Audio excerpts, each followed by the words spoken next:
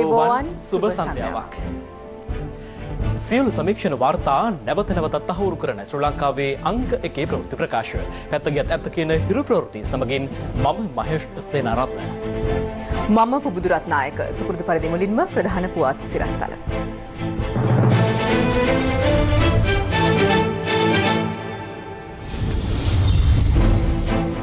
ස්විට්සර්ලන්ත තානාපති කාර්යාල නිලධාරිණිය දෙවන දිනටත් අපරාධ පරීක්ෂණ දෙපාර්තමේන්තුවට අධිකරණ වෛද්‍ය පරීක්ෂණයකටත් යොමු කෙරේ. තානාපති කාර්යාල නිලධාරිණියගේ විදෙස් ගමන් තහනම තවදුරටත් දීර්ඝ කෙරේ. බදු සහන ක්‍රියාත්මකයි. ආනයනික කිරිපිටි මිල පහලට. එජාපයේ අනාගතය ගැන තීරණය කරන්න රනිල්ගෙන් කමිටුවක්. සුනකයන් දෙදෙනෙකුට උණුවතුර ගසා මිරිස්කුඩු දෙමූ කාන්තාවක් අත්තිඩියේදී තෙවන ඇසට හසුවෙයි.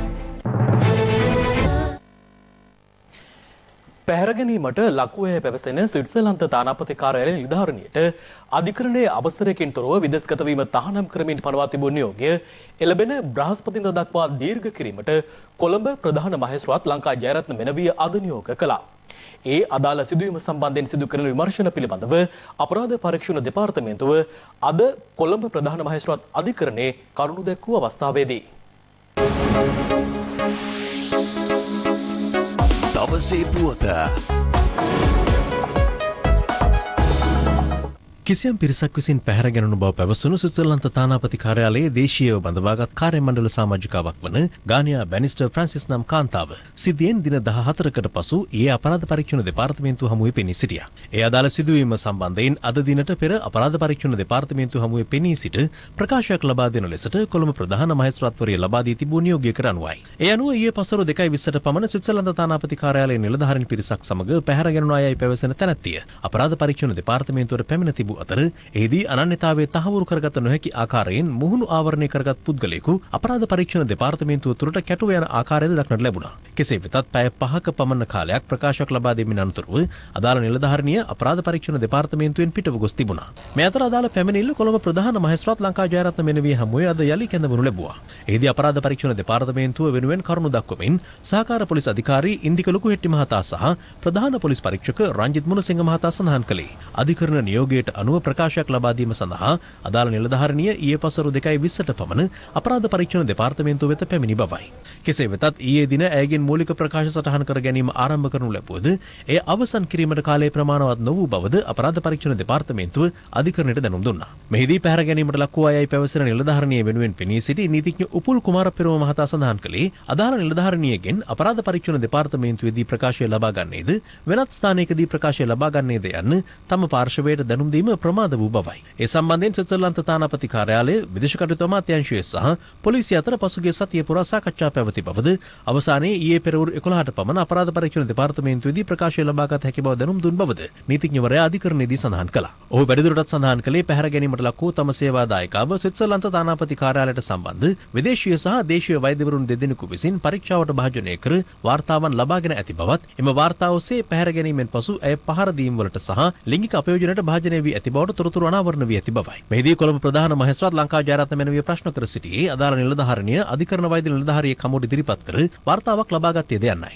ඒට පිළිතුර දෙමින් අපරාධ පරීක්ෂණ දෙපාර්තමේන්තුවේ නිලධාරීන් සඳහන් කළේ අදාළ නිලධාරණිය ඊයේ දින අපරාධ පරීක්ෂණ දෙපාර්තමේන්තුවට පැමිණීමෙන් පසු ඇයව කොළඹ අධිකරණ වෛද්‍ය නිලධාරියා හමුවට ඉදිරිපත් කළද ඇය පිරිමි වෛද්‍යවරයෙකු හමුවේ කායික පරීක්ෂණයකට භාජනය වීමට අකමැත්ත ප්‍රකාශ කිරීම හේතුවෙන් ඊයේ දින එම පරීක්ෂණය කිරීමට නොහැකි වූ බවයි. තම සේවාදායිකාව කායික වෛද්‍ය පරීක්ෂණයකට පිරිමි වෛද්‍යවරයෙකු ඉදිරියේ පෙනී සිටීමට අකමැති බැවින් ඇයගේ ඉල්ලීම සලකා බලා කාන්තා වෛද්‍යවරයෙක් ඉදිරියේ තම සේවාදායිකාවට අධිකරණ වෛද්‍ය පරීක්ෂණයට පෙනී සිටීමට හැකිවන ලෙස නියෝගයක් නිකුත් කරන්නයි නීතිඥ උපුල් කුමාර පෙරම මහතා අධිකරණයෙන් ඉල්ලා සිටියා. එම ඉල්ලීම කෙරෙහි අවධානය යොමු කළ ප්‍රධාන මහේස්ත්‍රාත්වරය සඳහන් කළේ සාමාන්‍ය ක්‍රියාපටිපාටිය තුළ ස්ත්‍රී දූෂණ සම්බන්ධයෙන් වෛද්‍ය පරීක්ෂණ සිදු කරන්නේ අධිකරණ වෛද්‍ය කාර්යාලයේ සිටින පිරිමි වෛද්‍යවරුන් වන බැවින් එවැනි නියෝග නිකුත් කිරීමට තමන්ට හැකියාවක් නොමැති බවයි. කෙසේ වෙතත් ඊයේ දින ලබා ගන්නා ලද ප්‍රකාශයේ ඉතිරි කොටස සම්පූර්ණ කිරීම සඳහා අදාළ තැනැත්තියට අද දිනද පැමිණෙන ලෙස දැනුම් දී ඇති බව ප්‍රධාන මහේස්ත්‍රාත්වරය හමුවේ පැවසූ අපරාධ පරීක්ෂණ දෙපාර්තමේන්තුව.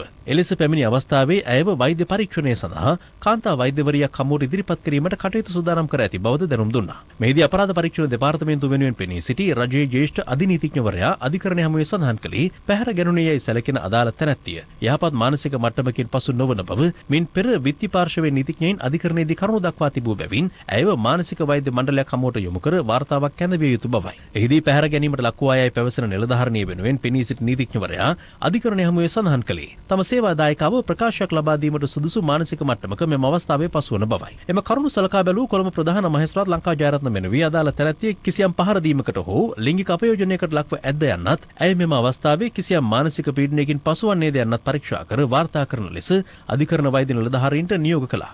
මෙහිදී පැහැර ගැනුණු යයි පැවසෙන තානාපති නිලධාරිනිය වෙනුවෙන් පෙනී සිටින නීතිඥවරුන් අධිකරණය විසින් තම සේවා දායකාවට පනවා ඇති විදෙස් ගමන් තහනම හැකික්මනින් ඉවත් කර ගැනීමට අවශ්‍ය බව ප්‍රධාන මහේස්ත්‍රාත්වරයට දැනුම් දුන්නා. එමෙල්ලීමට පිළිතුරු දෙමින් ප්‍රධාන මහේස්ත්‍රාත්වරය සඳහන් කළේ මෙම සිදුවීම සම්බන්ධයෙන් අදාළ තැනැත්තියගෙන් මූලික ප්‍රකාශ සටහන් කර ගැනීම හෝ තවම අවසන් වී නොමැති බැවින් ඇගේ විදෙස් ගමන් තහනම ඉවත් කිරීම තුළ සමස්ත විමර්ශන ක්‍රියාවලියටම බලපෑම ලැබිය හැකි බවයි. එබැවින් එම විදෙස් ගමන් තහනම ඉවත් කිරීම පිළිබඳ මූලික ප්‍රකාශ සටහන් කර ගැනීමෙන් පසු සලකා බැලිය හැකි බව සඳහන් සඳහන් කළ ප්‍රධාන මහේස්ත්‍රාත්වරිය අද දිනය දක්වා පනවා තිබූ විදේශගමන් තහනම එළඹෙන 12 වෙනිදා දක්වා දීර්ඝ කිරීමට නියෝග කළා.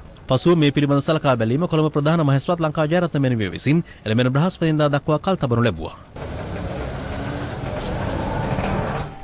පැහැර ගැනීමට ලක් වූ බව කියූ ස්විත්සර්ලන්ත තානාපති කාර්යාල කාර්ය මණ්ඩල සමාජිකා ගානියා බැනිස්ට ප්‍රකාශයක් ලබා දීම සඳහා දෙවන දිනටත් අද අපරාධ පරීක්ෂණ දෙපාර්තමේන්තුව හමුවේ පෙනී සිටියා. අධිකරණ නියෝග ප්‍රකාරව ඇය වෛද්‍ය පරීක්ෂණයක් සඳහා කොළඹ අධිකරණ වෛද්‍ය නිලධාරී හමුවටද ඉදිරිපත් කෙරුණා. කිසියම් පිරිසක් විසින් පැහැර ගැනු බව පැවසුණු ස්විත්සලන්ත තානාපති කාර්යාලයේ දේශීයව බඳවාගත් කාර්ය මණ්ඩල සමාජිකාවක වන ගානියා බැනිස්ටර් ෆ්‍රන්සිස් නම් කාන්තාව අද පසරු එකට පමණ අපරාධ පරීක්ෂණ දෙපාර්තමේන්තුව වෙත පැමිණියා.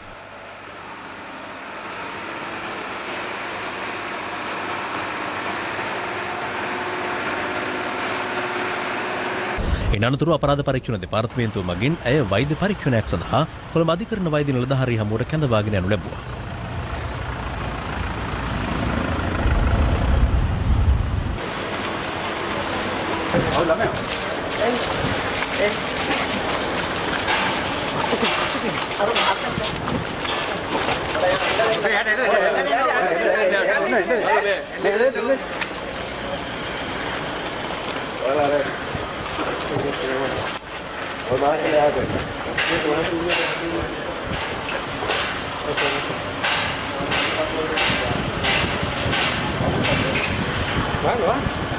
ගානය බැනිස්ට පැය දෙක පමණ කාලයක් අධිකරන වෛදි නිලධාරී කාරයාල පරිශ්‍රය රැඳී සිටිය.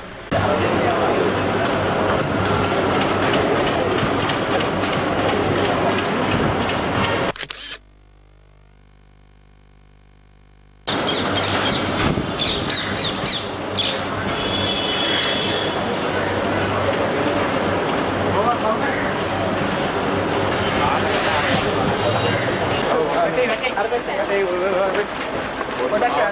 ඉඩ යන්න ඉඩ දෙන්න බා. ඕ ඕ.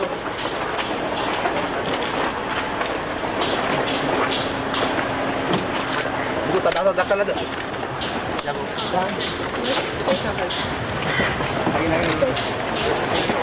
ඉනනතුරුව ඇය යළිත් ප්‍රකාශ ලබා ගැනීම සඳහා අපරාධ පරීක්ෂණ දෙපාර්තමේන්තුව වෙත කැඳවාගෙන යනු ලැබුවා.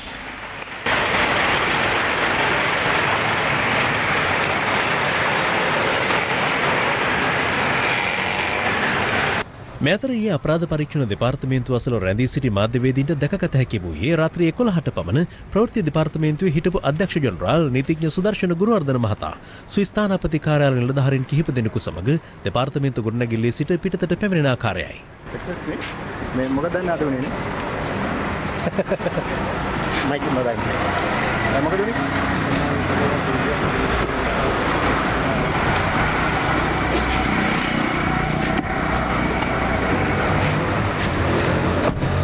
මෙතර තමන් අදාළ ස්ථානපතිකාරය මණ්ඩල සමාජිකාවගේ නියෝජිතයකයි හඳුන්වාගත් මංජුල පෙරා නැමැති පුද්ගලයෙක් පැමිණ මාධ්‍යවේදින්ට දැනුම් දුන්නේ අදාළ කාන්තාව අද ප්‍රෝට්ටි සාකච්ඡාවක් පවත්වන බවයි. ඔහු සන්තකේ වෝකිටෝක යන්ත්‍රයක් හෝ චන්ද්‍රකා දුරකථනයක් වෙන උපාංගයක් තිබෙනු දැකගත හැකි වුණා. එම පුද්ගලයා පැවසූ මඟ සලකුණු ඔස්සේ හිරු ප්‍රවෘත්ති කණ්ඩායම අදාළ නිවස වෙත අද පෙරවරුවේ ළඟා වුණා. දීමා රැඳී සිටිනේ අංක 15 දෙක බාන්ස් පෙදෙස කොළඹ නැමැති ලිපිනේ ඊයේ දිනේදී අදාළ ශ්‍රීශ්‍රලන්ත තානාපති කාර්යාලය නිලධාරීනිය අපරාධ පරීක්ෂණ දෙපාර්තමේන්තුවට ඉදිරිපත් කළ අවස්ථාවේදී ඇගේ නියෝජිතයෙකුයයි පැවසූ මංජුල පෙරේරා නැමැත්තා සඳහන් කළේ අද දවසට 10ට පමණ මේ ස්ථානයේදී අදාළ ශ්‍රීශ්‍රලන්ත තානාපති කාර්යාලය නිලධාරීනිය විසින් මාධ්‍ය වෙත විශේෂ ප්‍රකාශයක් සිදු කිරීමට නියමිත වග. 15 දෙක බාන්ස් පෙදෙස කොළඹ දහයට එන්න චයිනිස් හොස්පිටල් එකක් තියෙන එතන එතන පිටිපස්සේ ගෙදර වික්ටෝරියා මේ මේ පාටිකාරේ හරවැඩි එහෙම අපි අපි මේ මේ මඩපඩින් දැන් පිටත්ට යනවා ආ පැත්තේ ගේට්ටුවෙන් ගියා ඔබතුමාලා හෙට උදේට ගෙදරට ඇවිල්ලා ප්‍රකාශනයක් ලබා ගන්න. ඔබතුමා කවුරු විදිහටද සාමාන්‍යයෙන් අද මෙතන? ආ මම මණ්ඩල පෙරේරා එතුමියගේ නියෝජිතයෙක්. හරි බොහොම ස්තුතියි. ඒ අනුව අද උදැසන 9:30 සිට පස්වරුව දක්වාම මේ ස්ථානයේ විද්‍යුත් හා මුද්‍රිත මාධ්‍ය වෙතින් විශාල පිරිසක් රැඳී සිටියා. අදාළ තානාපති කාර්යාලය නිලධාරිණියගේ ඒ ප්‍රකාශය ලබා ගැනීම වෙනුවෙන් කොහොමුණත් අද පස්වරුව දක්වාම අදාළ තානාපති කාර්යාලය නිලධාරිණිය හෝ අදාළ නියෝජිතයා මේ ස්ථානයට පැමිණියේ නැහැ. ඒත් එක්කම මේ ස්ථානයේ රැඳී සිටින ආරක්ෂක නිලධාරියා අපත් සමග සඳහන් කළේ අදාළ සිස්ටර්ලන්ත තානාපති කාර්යාලය නිලධාරිණිය හෝ අදාළ නියෝජිතයා දින ගණනාවකින් මේ නිවස වෙත පැමිණියේ නැති වග. මේක පොඩ බලන්න හරිනේ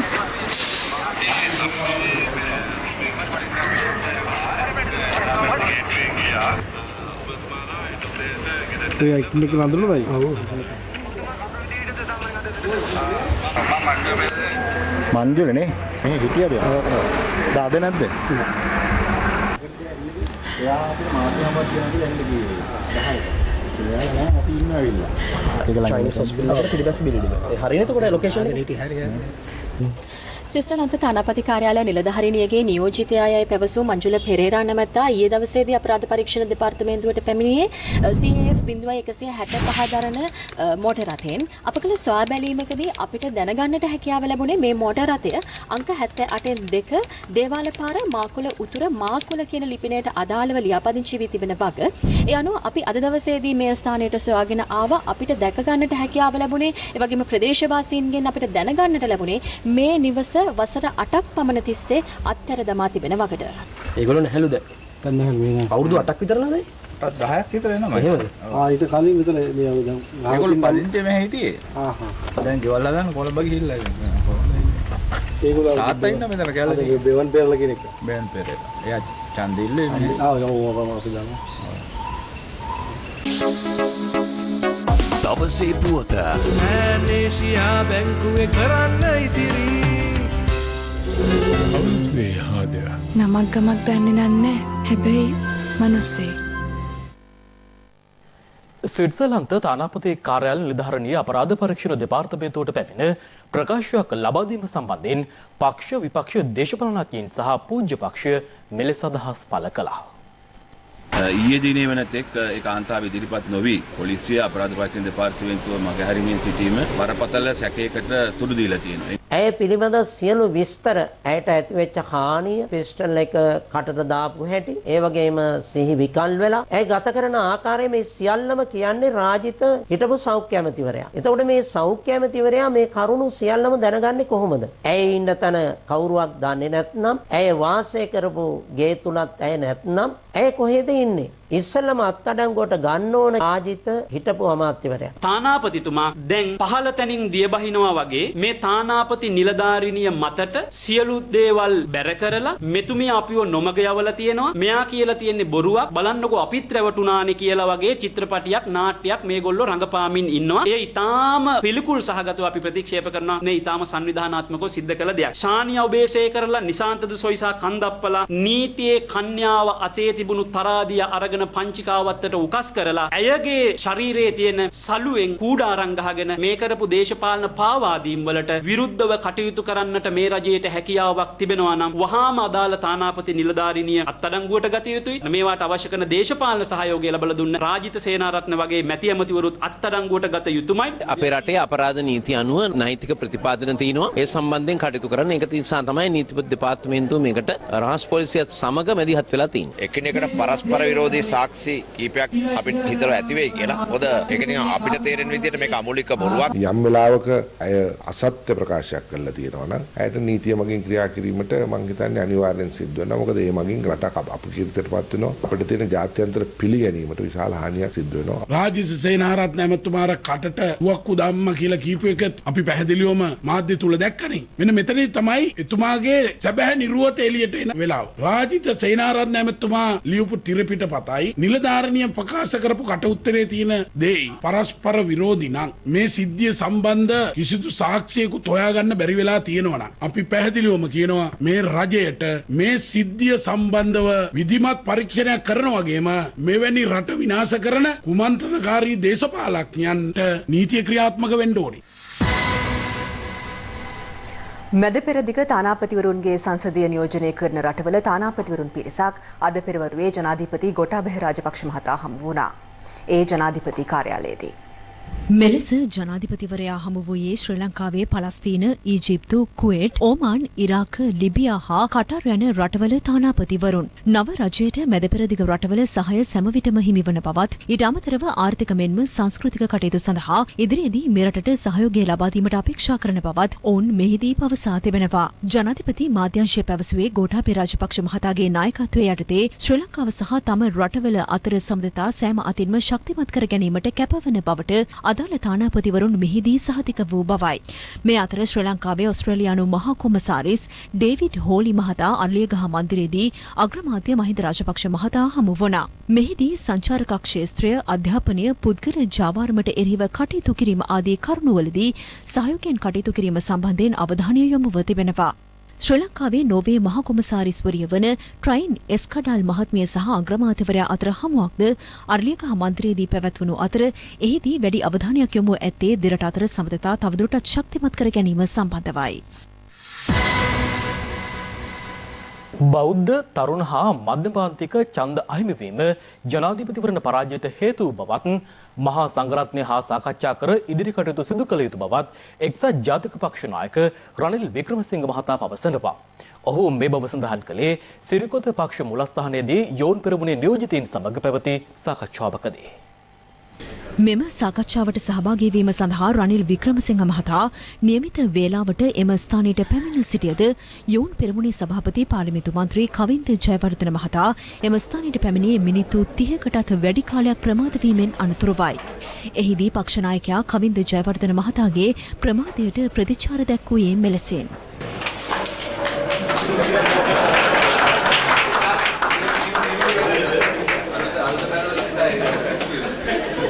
කොච්චර වෙලා ගියාද කිව්වොත් තරුණ නායකයා දැන් වැඩිමහල් වෙනවා.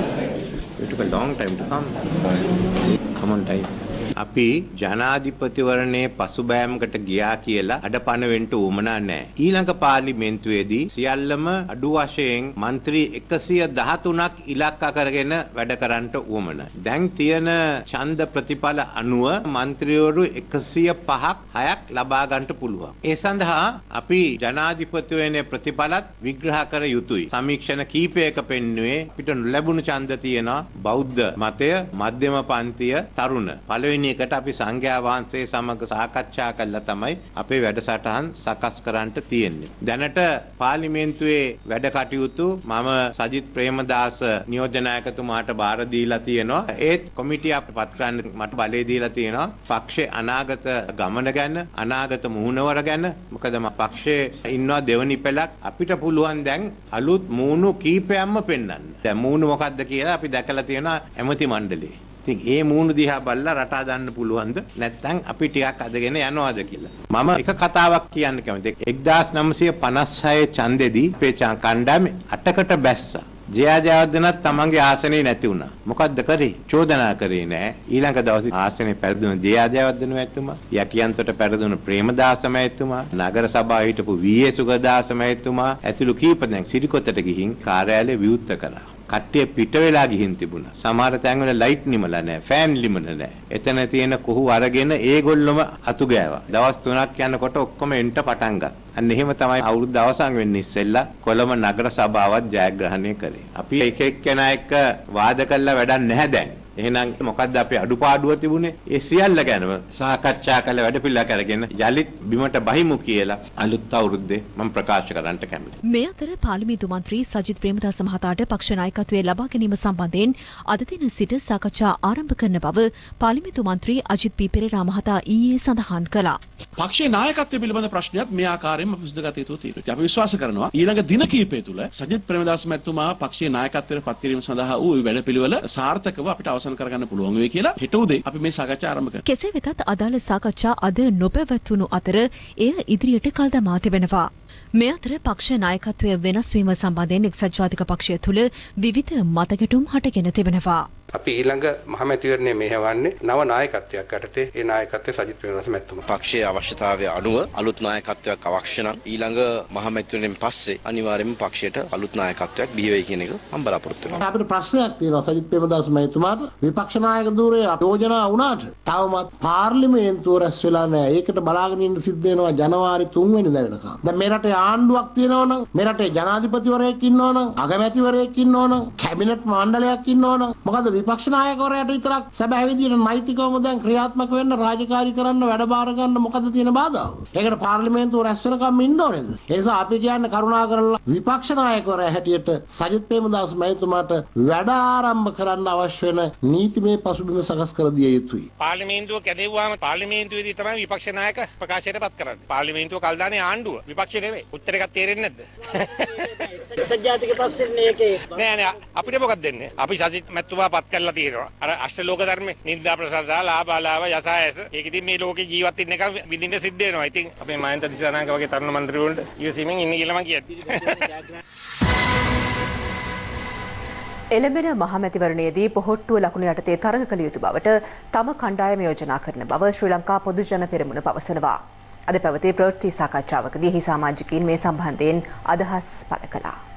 එලිවෙන ජාමෙට හොඳ හොඳ සෙල්ලම් කිව්වලු. රාජිත සේනාරත්න ඇමතුමාගේ අවසාන රංගනයත් දැන් අපට බලා ගන්නට පුළුවන් හැකියාව ලැබිලා තියෙනවා. දැන් එතුමාගේ සැබෑ නිරුවත මේ රටේ සමස්ත ජනතාව හොඳින් අවබෝධ කරගෙන ඉන්නේ. අපේක්ෂා රෝහල සම්බන්ධව අපිට මාධ්‍ය තුල ඉතාමත්ම හොඳ ප්‍රවෘත්තියක් දැක ගන්නට ලැබුණා. අධ්‍යක්ෂකවරේ කියනවා පිළිකා රෝගීන්ට අවශ්‍ය කරන ඒ සියලුම බෙහෙත් තිබුණා එනිසා තිබුණ කියලා කියන්නත් ඕන කිය. ඒ අධ්‍යක්ෂකතුමාම කියන නෑ බෙහෙත් වර්ග තිස් ගානක් තිබුණෙත් නෑ. මේ පිළිබඳව දැනුවත් කරනකොට රාජිත් සේනාරත්න මැත්තුමා බොහොම අසභ්‍ය ලෙස තර්ජනාත්මක ලෙස ඊටත් වඩා දේවල් කියන්න ඇති. පිළිකා රෝහලේ හිටපු අහිංසක පිළිකා රෝගීන් නොමර මරපු තත්ත්වයකට පත් කරා රාජිත් සේනාරත්න පිළිකා රෝගියෙකුට එන්නත් හයක් පාවිච්චි කරනවා. මේ හය නොමිලේ දෙනවා කියලා කිව්වා. එන්නත් දෙකක් විතර දීලා ළඟම තියෙන පාමසි වලට කියනවා මේ එන්නත ගේන්න කියලා. වැඩි වශයෙන් වශයෙන්ම කිව්වේ කොල්ලු පිටියේ එක්තරා පාමසියකට තමයි ගෙන්න ගත්තේ.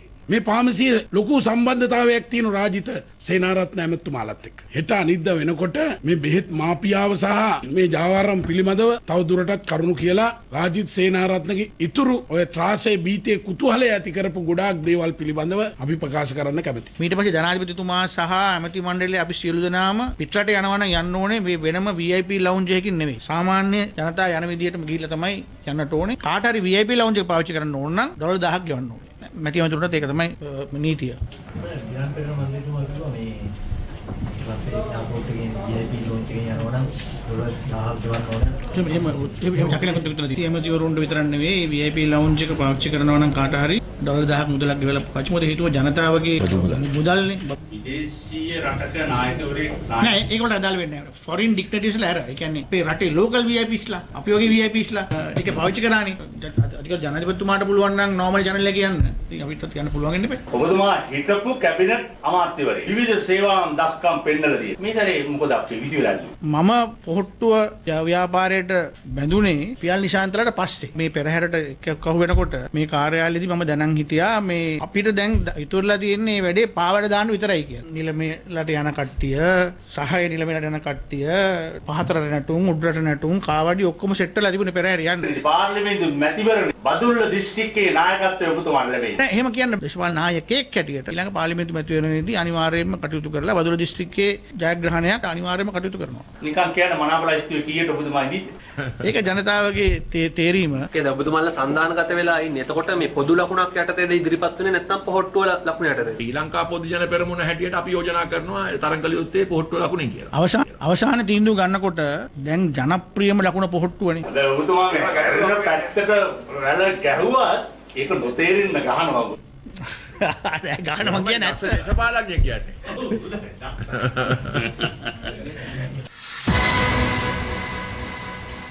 ඉදිරි මහමැතිවරණයේදී තරඟ කරන ලකුණු සම්බන්ධයෙන් ශ්‍රී ලංකා පොදුජන පෙරමුණු සහ ශ්‍රී ලංකා නිදහස් පක්ෂ දේශපාලනඥයින් තවදුරටත් විවිධ අදහස් පළ කරනවා. ඉදිරි මහමැතිවරණ සම්බන්ධයෙන් නව ලකුණකින් නව පක්ෂ නමකින්ද මුලින් ඇතිවෙච්ච එකඟතාවයක් තියෙනවා ඒ එකඟතාවයත් එක්ක පක්ෂ නායකයෝ තීන්දුව කරගෙන යනවා නෑ ඒක මගේ මතේ අවශ්‍ය වෙන්නේ නෑ මොකද මම ගිවිසුම දැක්කේ නෑනේ පොහොට්ටු ලකුණ තමයි දැන් ජනප්‍රිය ලකුණ බවට පත් වෙලා තියෙන්නේ ඉතින් ඒ නිසා පක්ෂය ඇතුලේ වැඩි කැමැත්තක් තියෙන්නේ පොහොට්ටුවට නම් ඒක ප්‍රජාතන්ත්‍රවාදී විදියට පොහොට්ටුවට දෙන්න ඕනේ අපි අර පහුගිය කාලේ අතහැරලා දාපු ලකුණු ආයේ මෙතෙන්ට ගේන්න අවශ්‍ය නැහැ පොහොට්ටුවෙන්ද පුට්ටුවෙන්ද අකුලෙන්ද ඒ ඕනෙ හැකින් අපි ඉල්ලන්න නැසි වර්තමානයේ උඩ ශ්‍රී ලංකා නිදහස් පක්ෂයේ ඉදිරි මැතිවරණ සූදානම්ද පක්ෂය විදිහට සංධානය අරහා පුටුව ලකුණින් තරම් කිරීම සඳහා ඉදිරිපත් වීමට බලාපොරොත්තු වෙ තියෙන්නේ මේකට මම දැක්කා අරම සමහර පක්ෂ නායකින් කියලා තිබුණා ඒ සංධානයේ ලකුණින් ඉදිරිපත් යුතුයි කියන කාරණේ තවත් අය ජනාධිපති වරණේ ඉදිරිපත් වුණු ලකුණින් ඉදිරිපත් යුතුයි කියන කාරණේ කොහොම නමුත් අපි හැම ප්‍රකාශයකටම පිළිතුරු දෙනවට වඩා හොඳයි මේකට අත්සන් කරපු කිවිසුමක් තියෙනවා ඉතින් අපි මේ කිවිසුම ප්‍රකාරව කටයුතු කිරීමට බලාපොරොත්තු වෙනවා පසුගිය ආණ්ඩු සමයේ සිදු වූ මහ බැංකු බැඳුම් කර වංචාව ඇතුළු අකටයුතුකම් සම්බන්ධයෙන් වහාම නීතිය ක්‍රියාත්මක කළ යුතු බව පූජ්‍ය අගුණුගල්ලේ ජිනානන්ද හිමියන් පවසනවා. ප්‍රකාශයක් ලබා දීම සඳහා පොලිස් මූලස්ථානයට වැඩම කළ අවස්ථාවේදී උන්වහන්සේ මේ බව සඳහන් කළ අතර අදත් ප්‍රවෘත්ති සාකච්ඡා කිහිපයකදී භික්ෂුන් වහන්සේ අදහස් පළ කළා.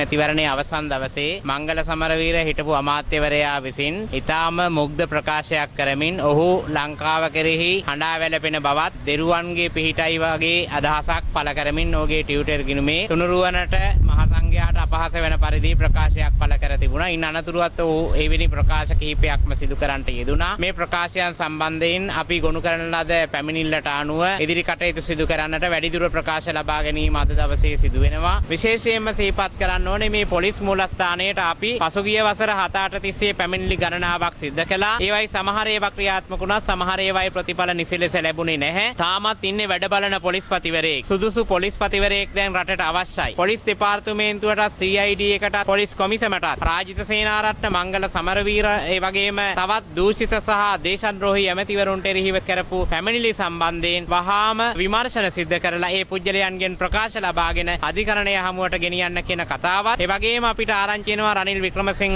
හිටපු අගමැතිවරයා මේ රටෙන් ඉවත් වන්නට සූදානමක් වෙනවා කියලා දේශපාලනයෙන් සමුගෙන විශේෂයෙන්ම බැඳුම්කර වංචාවේ මහා මොලකරු ඔහුයි. එනිසා බොහොම කාරුණික විල්ලා සිටිනවා මේ බැඳුම්කර වංචාවෙන් මේ රටට අහිමුණ බිලියන ගණනක් මුදල් නැවත රටට අය කර ගැනීම සඳහා ඒ වංචාවට සම්බන්ධ රනිල් වික්‍රමසිංහ ප්‍රමුඛ අදාළ චෞරයන් රැළ අධිකරණය හමුවට ගේන අවශ්‍ය පියවර ගන්නා ලෙසත් මේ මොහොතේ අපි බොහොම කාරුණිකව ජනාධිපතිවරයාට සිහිපත් කර සිටිනවා. ආන්දෝලනාත්මක සිද්ධියක් තමයි ડોක්ටර් ශාපි ශාබ්දීන් පිළිබඳව සිද්ධිය. විශේෂයෙන්ම මේ රජය බලයට පත්වීමටත් මූලිකම හේතුවක් තමයි සිංහල ජාතිය අතර තාමත්ම සංවේදී කාරණයක් බවට පත් වුණා. මේ මවුරු 1000 ගාණක් එක දිගට ඇවිල්ලා පැමිණිලි සිද්ධ කරන්නට යෙදුනා. දිගින් දිගටම CID එකට අපරාධ පරීක්ෂණ දෙපාර්තමේන්තුවේ ප්‍රධාන මහත්තුරුන්ට දිගින් දිගටම ප්‍රකාශ කර හිටියා නියම වාර්තා එවන්න, කඩිනම් වාර්තාවක් එවන්න කිය කී මහිත්‍රාතුමා ප්‍රකාශ කිරීම සිද්ධ කරා. කිසිදු වාර්තාවක් අපරාධ පරීක්ෂණ දෙපාර්තමේන්තුව විසින් මහිත්‍රාතුමාට ඉදිරිපත් කරේ නැහැ. ඒ නිසාම මේ නඩුව කල්ය ගියා. ඒ කල්යෑම හේතු කොටගෙන ඔහුට අප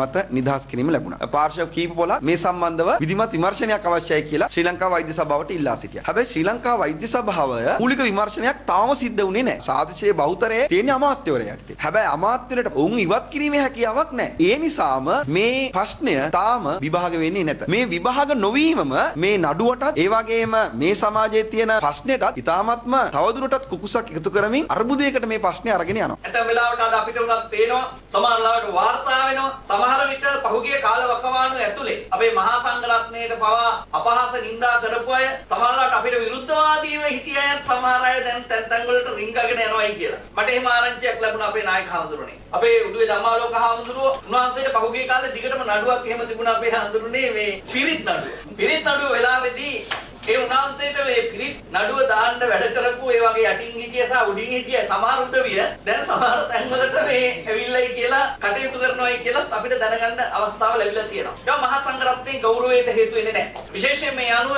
මේ මහා සංඝරත්නය ඇතම් වෙලාවට උන්වහන්සේලා උපේක්ෂා සහගතව වැඩ හිටියත් උන්වහන්සේලා ඒ ගැන නැවත නැවතත් කල්පනා කරන බව අපිට පේන උන්වහන්සේලා අපිට කතා කරනවා.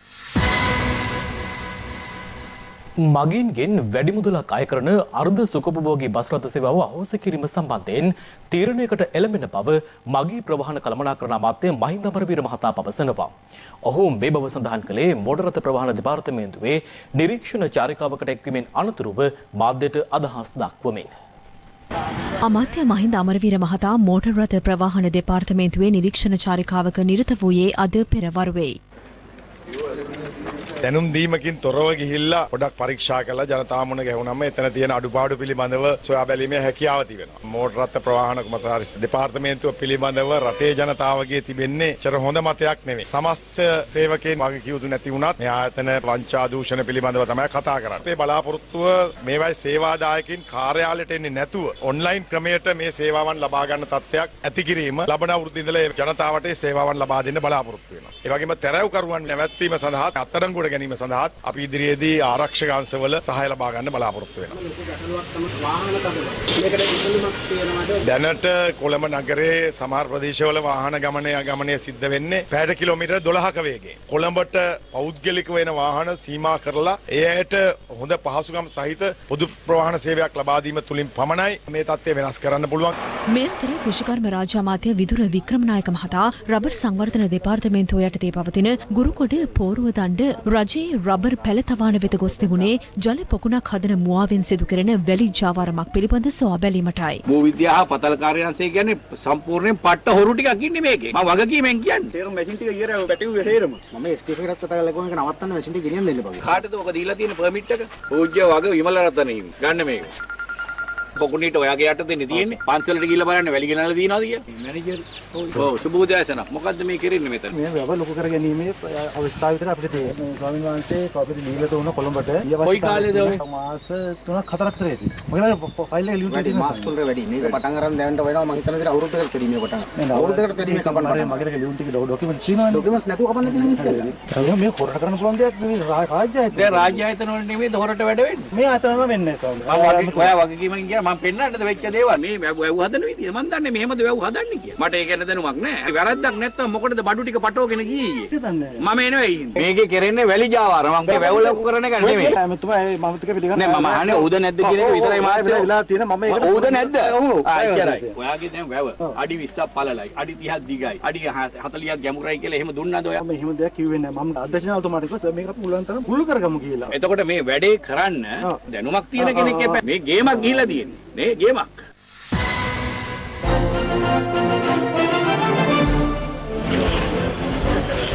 ක්‍රීඩකින්ට ඩෙංගු